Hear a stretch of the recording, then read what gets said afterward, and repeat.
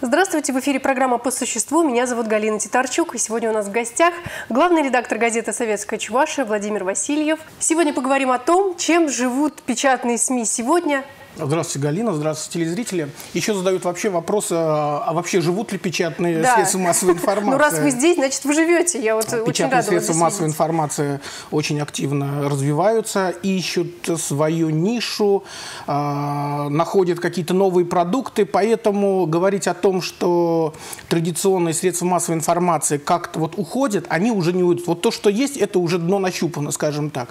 Другое дело, сегодня выигрывает э, тот, который который идет... А, читатель сам к тебе не приходит уже.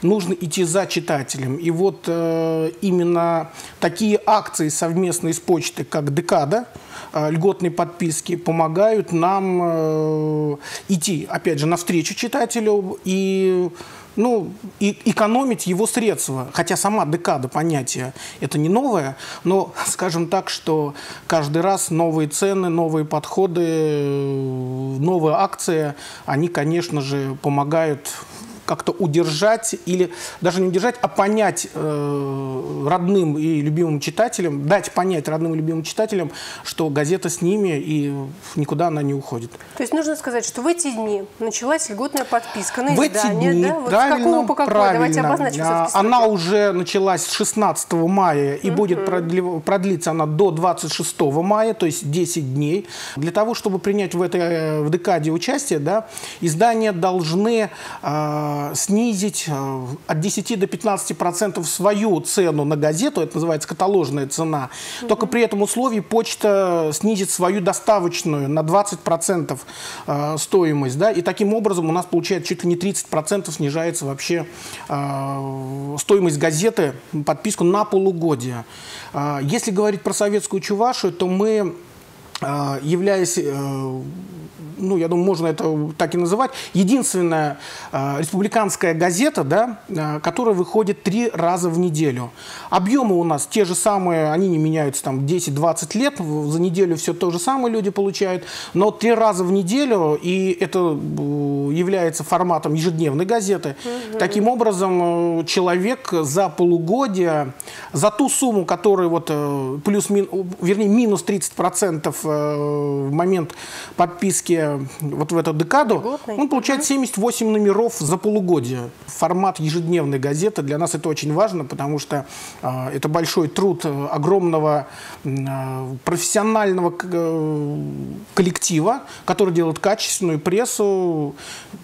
И награды на федеральном уровне, они это подчеркивают. Нам это очень приятно.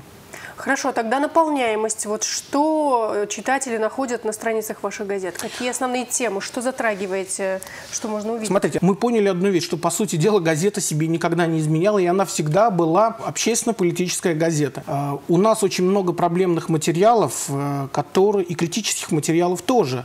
Э, хотя ряд людей начинает там упрекать, но это шаблонное понимание, что государственные СМИ, они вроде как э, никакой критикой. Слушайте, я со многими могу публично поспорить, что э, наша критика похлеще другой. Вот. Мы обращаем на проблемы не только связанные там уровня одного миллиона, да, мы обращаем проблемы и на уровне 50 тысяч, где э, людей обманули да, на такие суммы. Кроме, кроме ряда изданий советской Чуваши, ой, ряда изданий в республике, вот нас и других, э, мало кто вообще эти темы поднимает. И поэтому у нас очень активно ведется переписка с населением. Нам до сих пор пишут и письма. Э, То есть бумажные. бумажные такие, да, прям да, и электронные. Угу. Все это есть, мы общаемся. И поэтому, скажем, такой вот интерактив, это нам помогает быть все-таки э, всегда держать, скажем так, э, на пульсе пульсе. То есть обратная связь э, есть, с читателем у вас есть, прямая, есть. постоянная, и вы реагируете на все запросы? Даже которые... элементарная вещь, если мы сделаем э, ошибку, начиная от кроссворда и программы да, где-то, да, да, угу. и заканчивая неправильным, э, я не знаю, там, написанием деревни, хотя она угу. и так, и так может слушайте, ну, я думаю, в этой деревне столько людей не живет, да, вот, сколько нам звонков э, поступает э, с таким прям вот упреком, э, но мы это все воспринимаем как плюс, значит, люди читают, и у нас такие рубрики интересные появились, как «Машина времени», это ретро-рубрика, она вообще, ретро-журналистика, она очень и модна, и, ну, и читабельна, и очень хорошо, скажем так, проходит. Э, «Машина времени», где мы через материалы советской Чувашии разные, ну, за столетие, да, угу. мы как раз открываем, не комментируя, просто показываем вот-вот-вот-вот-вот, что в 39 году, что было в 49-м, 69-м, 89-м. Вы знаете, это такой некий срез э, получается, а как вообще люди воспринимали а, действительность вот в то время. На что там условно были объявления, что да, да, да. до революции люди пишут объявления, верните, пожалуйста, кошелек с деньгами, и вам этот будет большое спасибо. И люди возвращали, видимо, раз объявления ну, вот эти были. Для нас это как бы немножко очень так ну, вот в, наш, в, нашем, да? в наше время, да, или там кто-то увел лошадь, говорит, верните через газету лошадь, поставьте туда-то, вот, э, и больше так не делайте. Но, видимо, люди возвращали. А язык как-то менялся? Вот сейчас говорят, что люди не любят читать длинные тексты, и вообще это сложно. А вы как знаете, вот вы с этим? есть еще такая тема, я вот когда пришел в газету, начал смотреть подшивки, и очень многие вещи, которые мы думаю, делаем сейчас, вот и многие выдают как за изобретение велосипеда условно, да, оно так и остается. Не надо изобретать велосипед. Многие вещи в журналистике уже все продумано были, особенно в газетном традиционном формате. А, были большие тексты, я не спорю, но были и очень маленькие заметки. И вот это вот а, формат заметок, да, где в одном слове смысла там на а, целую страницу, да, вот, а, писали маленькие материалы, не только крупные какие-то. Угу. Э, это талант особый, Это да? талант, и э, ну, это вот советская журналистика, она э, владела, пишем мало, но думаю много. Я про то, что единственное, что в газетах, конечно, уходят сейчас э, репортажные какие-то материалы, очерки, но в нашем коллективе есть э, большое количество журналистов, которые владеют этими скажем, этим искусством в совершенстве, и поэтому мы это периодически, периодически печатаем этим материалом. Но читатель получает не только статью или какую-то большую заметку, у вас все-таки большое количество фотографий, которые отражают да. такую и у порой нас, могут сказать даже больше, чем У нас очень большой э, фотоархив. Мы да, ежедневно вот делаем угу. несколько тысяч фотографий. Но я вот в целом хотел сказать, что читатель получает не просто текст и информацию. Да. Через газету он получает эмоцию. Угу. Почему вот э, Министерство информполитики у нас сейчас тоже продвигает эту тему? Читать это модно. Э, именно, э, скажем так, пытаясь, мы пытаемся уловить вот именно некую через эмоциональную окраску. Читать это... Мы понимаем, что это не будет по 100-200 тысяч, да, 200 тысяч это только если бесплатно.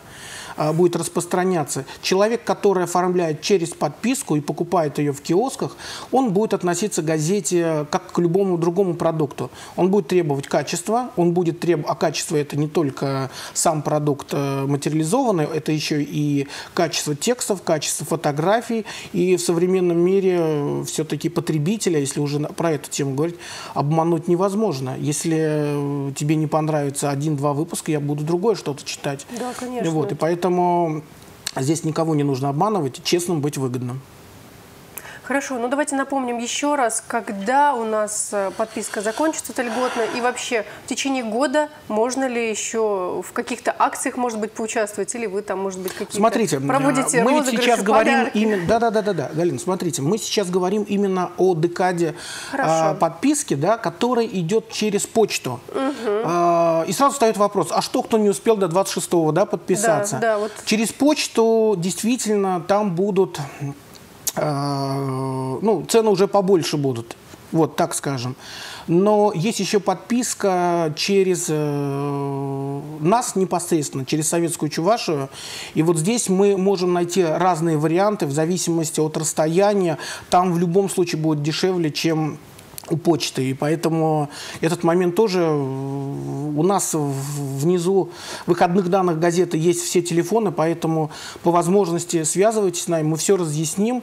Вот, еще раз говорю, с 16 по 26 э, число э, в мае будет проводиться вот эта вот льготная подписка и я думаю, что вам, всем, всем э, зрителям, которые являются нашими читателями, удастся э, подписаться и уже со второго полугодия получать заново нашу газету.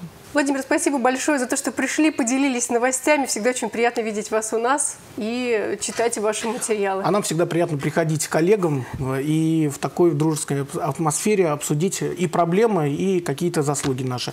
Я вам оставлю наш номер сегодняшний, поэтому э, читайте газеты, читать это модно. Спасибо большое, с удовольствием ознакомимся с новым выпуском. Спасибо. А я напоминаю, это была программа «По существу». До встречи в эфире. Thank you.